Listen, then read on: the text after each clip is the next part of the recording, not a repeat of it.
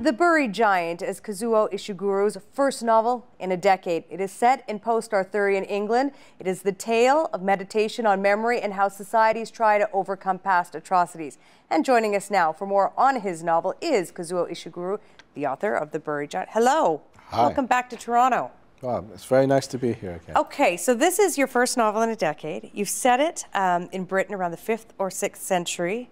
What inspired you to do that, about that period? What inspired you? Well, um, it, it's an interesting period because there's, there's, a kind of a blank, which is very appealing to a novelist. You know, um, and no one knows, no historian can confidently say what happened in that period.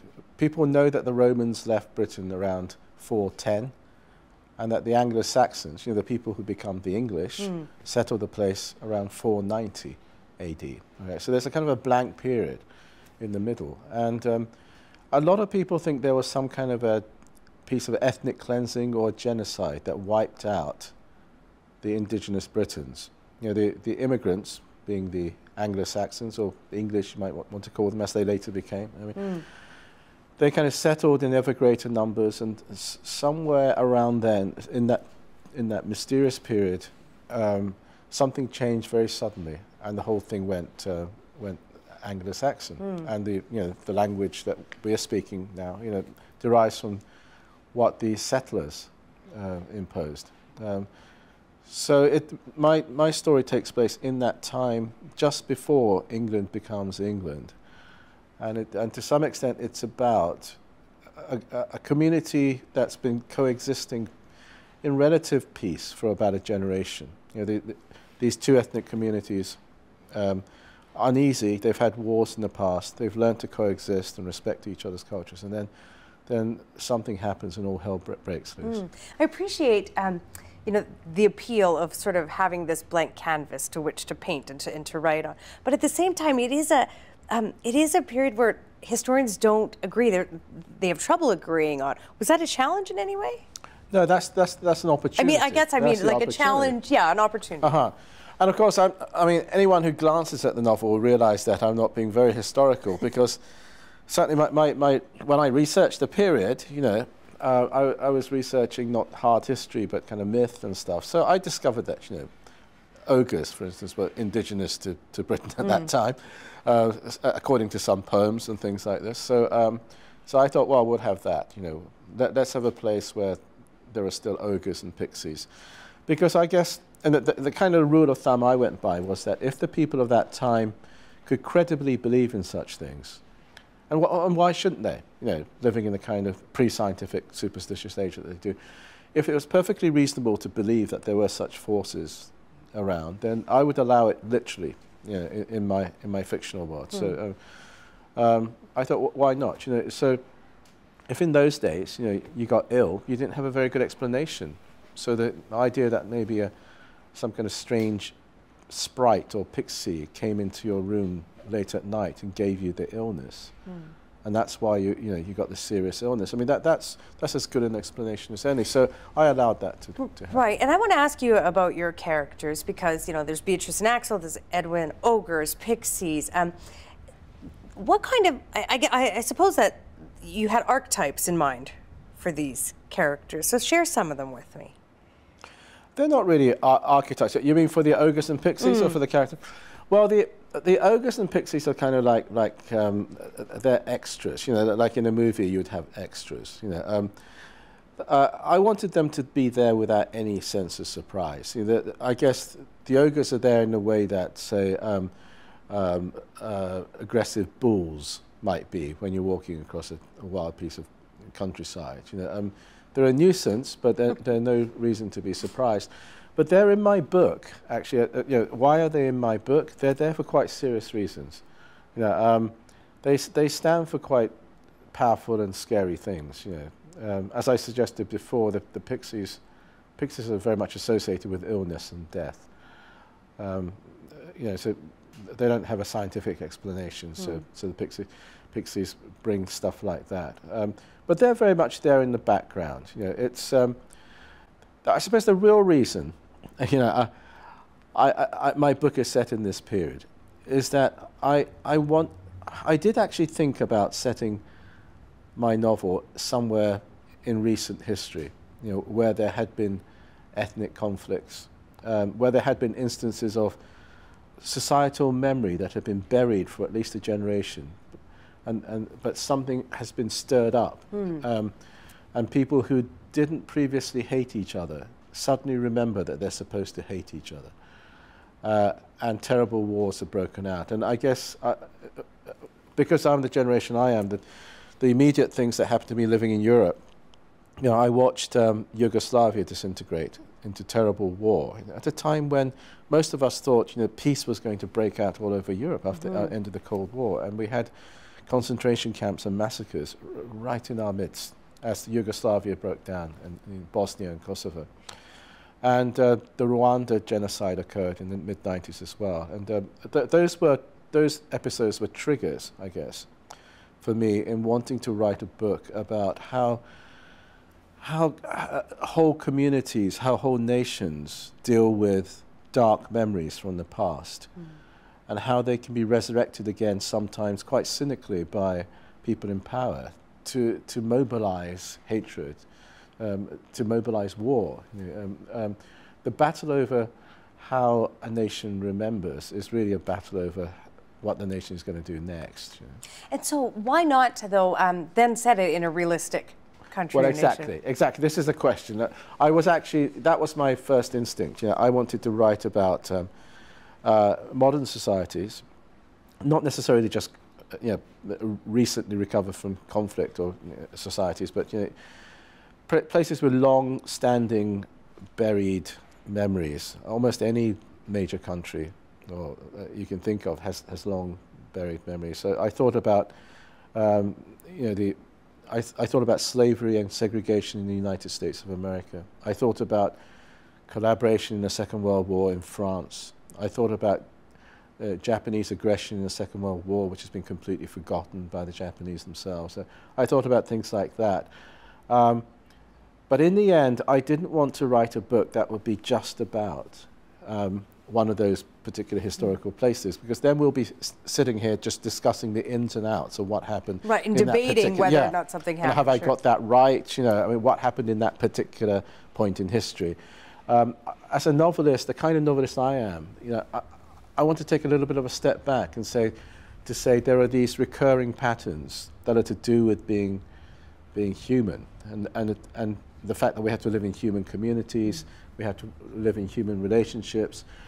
And so it was very appealing to me to, to set it deliberately in a place that wasn't real, so, so that I can invite the reader to apply it to all kinds of situations. And I wasn't just interested in in nations, you know, and, and their question about when do we need to remember, when do we need to forget things. I was also interested in, um, in that same question applied to a marriage. You know, um, and so we have at the heart of my novel um, an elderly couple. Um, everybody in this, in this Britain is suffering from some, some sort of memory loss. It's mm. nothing to do with aging or you know, dementia. Some kind of strange mist has, has deliberately made people misremember or forget certain things. And, uh, and so this old couple are, are concerned that they think their shared memories have gone. And what would happen to their love?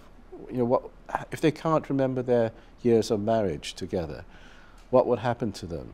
Um, and so they, they want to find their lost memories, so they go on a long journey to try and find clues. But, but as, as the story goes on, they start to become worried. If they actually remember some of the dark passages from their long relationship, um, will their love survive it? Mm. And, and this is, a, I guess, this is a question that we all must ask about any long relationship, important relationship mm. we've had, you know, whether it's a marriage or with, with our parents or you know siblings or whatever like and, that. And that I mean, your new novel does speak to that larger sort of human experience about um, time and memory and forgetfulness.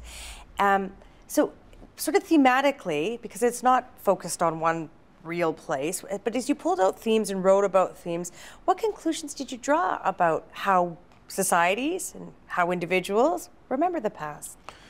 I don't, I don't have any clear conclusion. I, and I, th I think it's fair enough that I don't have any clear conclusion. I, am not on the side of people who say, you know, um, it's, it's an evasion, it's a moral evasion to um, uh, to forget some things because I, if you look at history, just as if you look at individual lives, there are some time, there are some moments when things are just too fragile.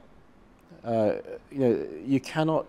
There are times when perhaps it's best just to just to forget mm. and say, look, we'll deal with this somewhere further down the road. You know, because if unless we bury this now, everything's just going to end in, in, in war. It will end in disintegration. It would end in hatred. Uh, we cannot move forward unless we just just agree to forget. And it might seem like like an offence to justice, but I mean, if you look at it, look like if you look at something like South Africa after the years of apartheid, I think it's almost miraculous how how that society mani has managed to come 20 years, you know, mm. as a strong democracy, without the place disintegrating into a into civil war. Would you would you argue, uh, though, and I don't want to get too political about mm. it, but that they've forgotten their past? I think they, they, they tried to get that balance right mm. through, through a formal procedure, the Truth and Reconciliation procedure. Um, and, uh, and, you know, just looking at the results, you have to say they, pr they probably got it right. You know, mm. um, it's, it's ne there's never a right answer because, because for the sake of cohesion, for the sake of not restarting a cycle of violence, you're, you're going to leave some crimes unpunished and, and probably unacknowledged as well. Mm. And that, that does lead to all kinds of problems in the future. But I can see that, you know, say after the Second World War, many countries in Europe who collaborated with the Nazis, who occupied with the Nazis, had to face this question as well. I mean, do, do we, do we tear ourselves apart with retribution and you know, civil war, or do we just draw a line under it and try and, try and go into the future? But then there, there remains that question as the years go by. You know, um, is it now time to look at you know, what we have buried in our past? It's interesting that you raise that because I think it's something that we don't ask ourselves very often, societally or individually. Like, let's just leave it. And, and I don't mean to be trite about it, but move on. That maybe that's the better future that we can build rather than sort of, as you say, this, this idea of justice. Well, that's fine if, if you know, things don't keep going wrong. You know, let, let, let, us take the situation in, in, the United States. You know, there seems to be this open wound in American society about the, you know, how African Americans were, were treated, you know, just in recent history. Mm -hmm. and, um, um, and, so there's an argument, you know, I, I've heard recently some Republican politicians saying, you know, let's remove a lot of this stuff from the school books because all it's doing is, is teaching a new generation of African American kids to be angry and bitter. Um, maybe it's just better just to kind of forget it. Mm. And yet other people say, you know, un until we face what happened and properly address it, we're going to get you know, all these problems that we get all the time. You know, Ferguson, um, you know, all these incidents that, that seem to recur almost you know, monthly in, in America because it's, it's, it's an unresolved issue. So I, I think it's a very it's a very difficult um, thing to settle on, you know, and, and where are the memory banks of a nation? I mean, I, it's not as simple as saying, you know, it, it's, it's just in museums or history books or whatever. I mean, it, it, it exists in the minds of ordinary people. Mm. It gets there through popular entertainment, what they tell each other. It's a really complicated procedure, mm. and, and, and yeah, people can control that as well. You know, uh, people in power, the, the media can control that, and uh, so I think it's, it's, a, it's, a, it's a complicated issue. You know. Right. And just probing this a little bit further, because again, it's another theme that sort of emerges in your, your book. Do you have a theory as to why periods of peaceful coexistence seem to not last, that they seem to, or, or seem, seem to be preceded by horrible violence? They seem to need this catalyst. Well, I, I guess you know, I'm not a historian. I mean, mm. you know, there are many people far more expert than, than me, but uh, just as a kind of a, just as a lay fiction writer, you know, right, I'd but, offer but this. it's pulling at these this. themes and these ideas. Yeah, yeah, okay, let me offer this. I mean, I, I think some peace is, is, true, is to some extent fundamentally based on consensus. You know, people who've gone through some kind of genuine situation of negotiation and they, and you know, they've arrived at a peaceful settlement. Now, I think Western Europe, is, after the Second World War, is, is a real triumph. To think that these countries that tore themselves to pieces for, for decades in the, sec- in the first half of the 20th century have now formed this kind of European community, you know, um, you know, more or less kind of borderless. You know, I think that, that's miraculous, and I think that's been achieved through consensus. Other kinds of peace have been enforced through military victory or, or through dictatorship. Mm.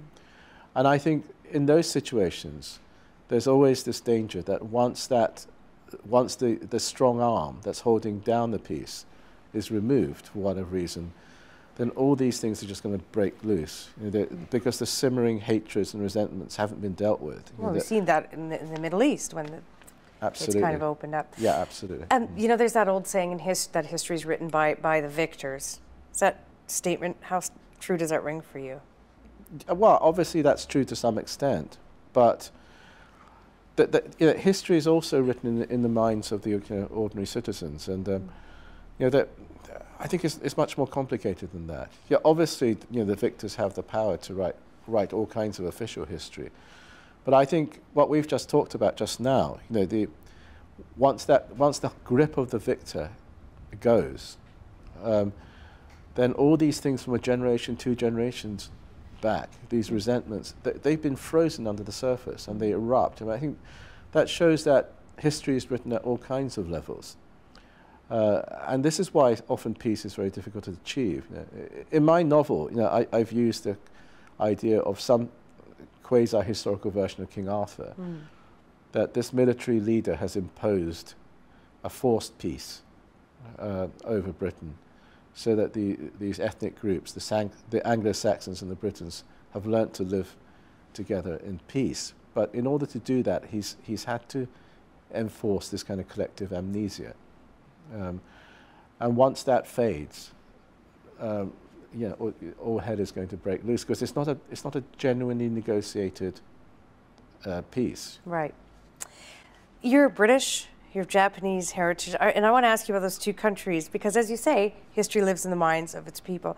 How would you measure England's ability to overcome its past? England. Mm. Um, well, you know, I, I, don't want to single out any particular country for, for being you know, particularly better or worse, you know. But I would say, I, I would say, you know, it, Britain was never occupied in the Second World War, so it doesn't have this um, terrible business of having to to deal with, you know, did we collaborate? Did we resist enough? You know, that, that a lot of the countries of mainland Europe, you know, th th these are the questions that torture a lot of people in mainland Europe.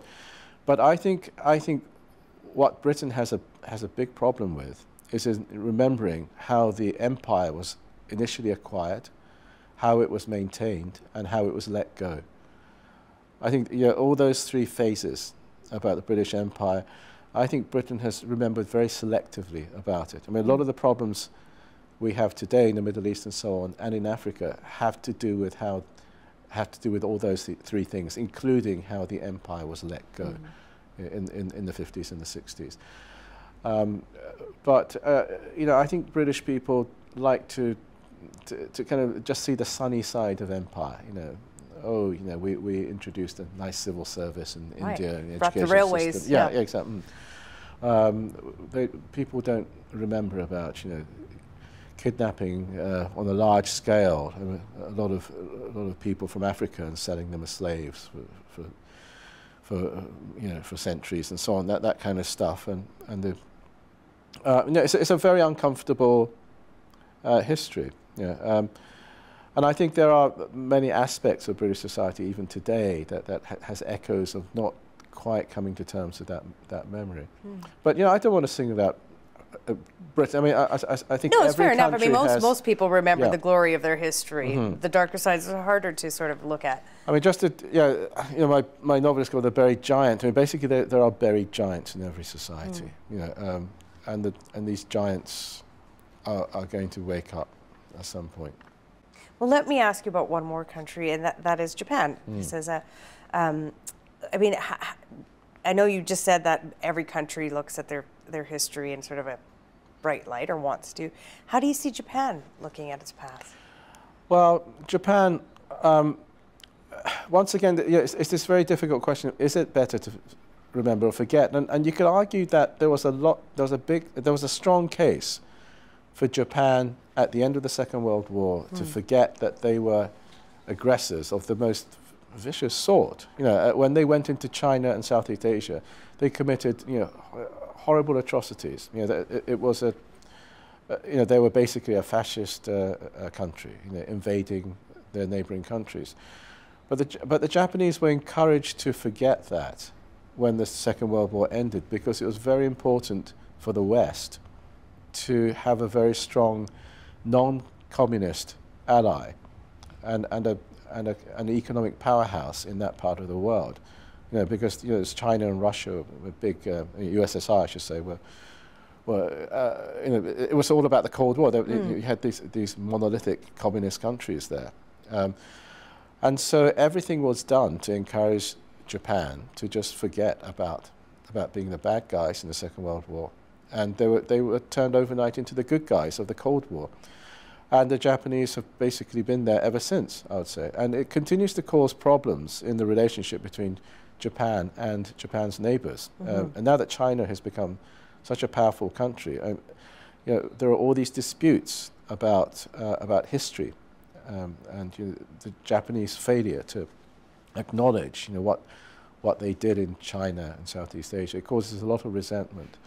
Um, on the other hand, you could say it helped Japan you know, become a very strong liberal democracy uh, and an economic powerhouse in, in, very few years after the Second World War. So sometimes forgetting, although it's, it's morally dubious, can achieve results. Mm. Uh, and, uh, and so the question is, does it matter? Well, sometimes it does, sometimes it doesn't. Well, I want to raise, um, you know, um, another issue with you that, that, that, plays into this. 10 years, about 10 years ago, you were on another TVO program. It's called In Conversation with, uh, with Allan Gregg. Um, it was about your last novel, which was Never Let Me Go. I don't know if you remember, but I want to uh, play a little bit of tape of what you had to say at that time about the role of your generation had, had in uh, remembering the past. I feel that a new obligation falls on, on my generation. Mm -hmm. I, guess, I guess it's your generation too.